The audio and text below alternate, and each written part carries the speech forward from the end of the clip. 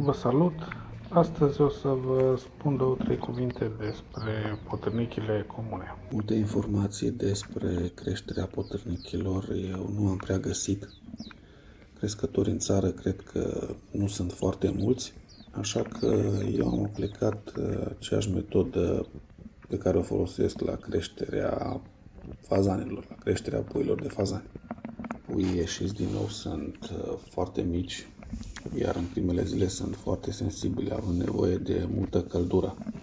Cei care creșteți fazani, să vă imaginați că un pui de potârniche este cam jumătate dintr-un pui de fazan de auriu pe roșu, poate mai mic, în care eu le dau exact ca și la pui de fazani.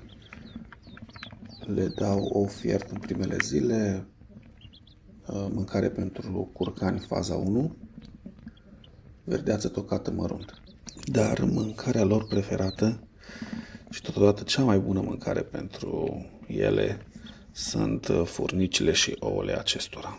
O dată de două ori pe zi, eu le pun într-o găleată pământ de mușuroi amestecat cu furnici și cu ouăle acestora și las pui cam 10-15 minute să-și facă treaba. Se vede în clip cu câtă plăcere le consumă.